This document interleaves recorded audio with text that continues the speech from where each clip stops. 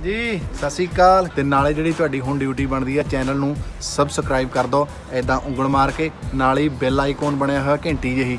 ਉਹਦੇ ਤੇ ਵੀ ਮਾਰ ਦਿਓ ਕਿਉਂਕਿ ਜਦੋਂ ਕੋਈ ਨਵੀਂ ਚੀਜ਼ ਅਸੀਂ ਹੋਰ ਪਾਈ, ਤਾਂ ਤੁਹਾਨੂੰ ਨਾਲ ਦੀ ਨਾਲ ਨੋਟੀਫਿਕੇਸ਼ਨ ਆ ਜੂ। ਸੋ ਕਰ ਲਓ ਸਬਸਕ੍ਰਾਈਬ ਭਾਰਤ, ਪਾਕਿਸਤਾਨ ਕੌਮਾਂਤਰੀ ਸਰਹੱਦ ਦੇ ਫਾਜ਼ਿਲਿਕਾ ਸੈਕਟਰ 'ਚ ਤਾਇਨਾਤ 181 ਬਟਾਲੀਅਨ ਦੇ ਜਵਾਨਾਂ ਨੂੰ ਅੱਜ ਕਰੰਟ ਲੱਗ ਜਾਣ ਦੀ ਸੂਚਨਾ ਮਿਲੀ ਹੈ। ਅਚਾਨਕ ਪਏ ਇਸ ਕਰੰਟ ਕਾਰਨ ਇੱਕ ਜਵਾਨ ਦੀ ਮੌਕੇ ਤੇ ਹੀ ਮੌਤ ਹੋ ਗਈ, ਜਦਕਿ ਤਿੰਨ ਹੋਰ ਜਵਾਨ ਗੰਭੀਰ ਤੌਰ ਤੇ ਜ਼ਖਮੀ ਹੋ ਗਏ, ਜਿਨ੍ਹਾਂ ਨੂੰ ਇਲਾਜ ਲਈ ਹਸਪਤਾਲ ਦਾਖਲ ਕਰਵਾਇਆ ਗਿਆ ਹੈ। ਜਾਣਕਾਰੀ ਮੁਤਾਬਕ ਉਕਤ ਸਾਰੇ ਜਵਾਨ ਸਰਹੱਦ ਦੇ ਨੇੜੇ ਲੱਗੀ ਕੰਡਿਆਲੀ ਤਾਰ ਕੋਲ ਫਲੱਡ ਲਾਈਟਾਂ ਨੂੰ ਠੀਕ ਕਰਨ ਦਾ ਕੰਮ ਕਰ ਰਹੇ ਸਨ। ਇਸ ਦੌਰਾਨ ਖੇਤ 'ਚ ਜਾਂਦੀ ਬਿਜਲੀ ਦੀ ਇੱਕ ਤਾਰ ਤੋਂ ਉਹਨਾਂ ਨੂੰ ਕਰੰਟ ਪੈ ਗਿਆ।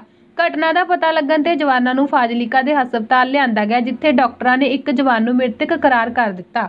ਆਪਣੇ ਸਾਦਕੀ ਚੌਂਕੀ ਦੇ ਨੇੜੇ ਪੋਸਟ ਹੈ ਤੇ ਬੀਐਸਐਫ ਦਾ ਜਵਾਨ ਸੀਗਾ ਹੈੱਡ ਕਨਸਟੇਬਲ ਆਰਐਸ ਪੰਚਾਰੀ ਤੇ ਨਾਲ ਦੋ ਤਿੰਨ ਹੋਰ ਮੁਲਾਜ਼ਮ ਸੀਗੇ। ਇਹਦਾ ਜਿਹੜੀਆਂ ਰਾਤ ਨੂੰ ਲਾਈਟਾਂ ਜਗਾਉਂਦੇ ਨੇ, ਉਹ ਖਰਾਬ ਸੀ, ਉਹਨਾਂ ਨੂੰ ਸਹੀ ਕਰ ਰਹੇ ਸੀਗੇ। ਤੇ ਕਿਤੇ ਜਿਹੜੀ ਉਹ ਲੰਬੀ ਪੌੜੀ ਸੀਗੀ, ਉਹ ਲੱਗ ਗਈ ਤਾਰਾਂ ਦੇ ਨਾਲ, ਜਿਸ ਕਰਕੇ ਜਿਹੜਾ ਆਪਣੇ ਉਹਦੇ 'ਚ ਕਰੰਟ ਆ ਗਿਆ ਤੇ ਆਰਐਸ ਪੰਚਾਰੀ ਨਾਮ ਦਾ ਜਵਾਨ ਸੀਗਾ ਹੈਡ ਕਨਸਟੇਬਲ ਉਹਦੀ ਡੈਥ ਹੋ ਗਈ ਤੇ ਤਿੰਨ ਨਾਲ ਹੋਰ ਸੀ ਮੁਲਾਜ਼ਮ, ਉਹਨਾਂ ਨੂੰ ਵੀ ਕਰੰਟ ਲੱਗਿਆ। ਲੇਕਿਨ ਉਹ ਠੀਕ ਨੇ, ਉਹ ਜੇਰੇ ਇਲਾਜ ਨੇ। ਕੀ ਨਾਮ ਹੈ ਜੀ ਜਿਹੜੇ ਜੇਰੇ ਇਲਾਜ ਨੇ ਇੱਕ ਦਾ ਨਾਮ ਨਿਆਜ ਅੰਸਾਰੀ ਹੈ ਇੱਕ ਦਾ ਨਾਮ ਸਤਪਾਲ ਸਿੰਘ ਇੱਕ ਦਾ ਨਾਮ ਸੁਭਾਸ਼ ਰਾਏ। ਕਿੰਨੇ ਕੁ ਵਜੇ ਦਾ ਵਾਕਿਆ ਹੈ ਜੀ ਇਹ? ਇਹ ਦਰਅਸਲ ਆਪਾਂ ਨੂੰ ਇਨਫੋਰਮੇਸ਼ਨ ਘੰਟਾ ਕੁ ਪਹਿਲਾਂ ਮਿਲੀ ਹੈ।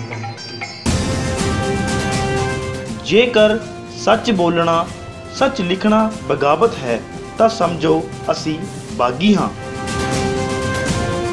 ਸੱਚ ਅਤੇ ਹੱਕ ਦੀ ਆਵਾਜ਼। ਦੁਨੀਆ ਦੇ ਹਰ ਕੋਨੇ-ਕੋਨੇ ਦੀ ਗੱਲ। ਪੰਜਾਬ ਟੀਵੀ ਕਰੇਗਾ ਸੱਚ ਦਾ ਖੁਲਾਸਾ। ਤੁਸੀਂ ਦੇਖਦੇ ਰਹੋ ਪੰਜਾਬ ਟੀਵੀ ਸੱਚ ਅਤੇ ਹੱਕ ਦੀ ਆਵਾਜ਼।